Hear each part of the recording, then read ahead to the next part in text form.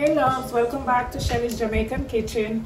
This evening I'll be making for you guys some creamy carrot juice with Nutrament.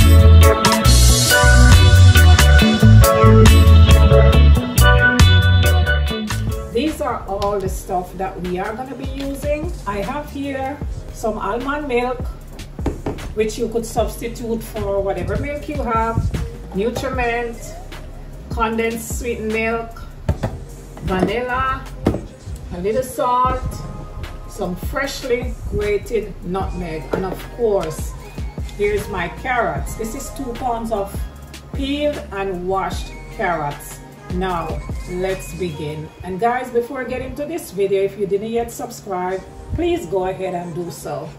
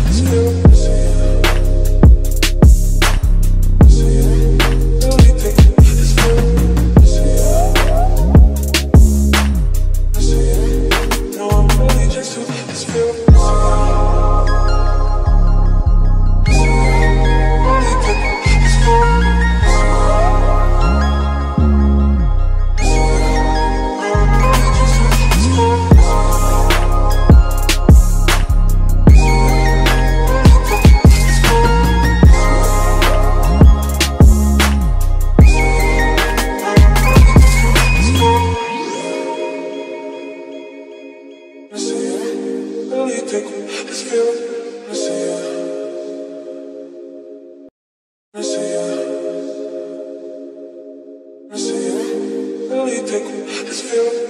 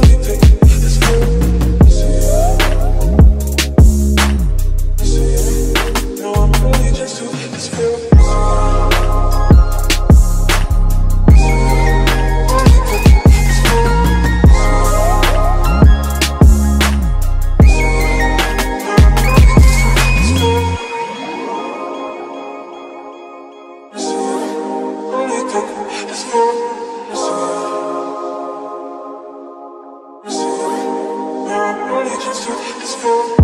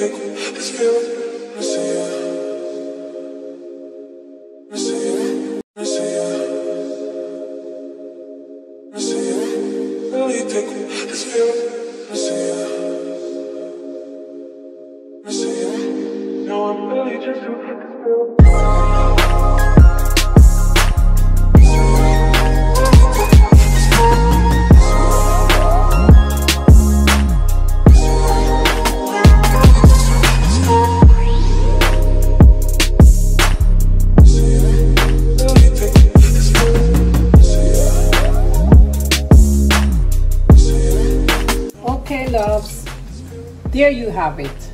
Our creamy carrot juice. I hope you all did enjoy this video and if you did enjoy please leave me a comment in my comment section.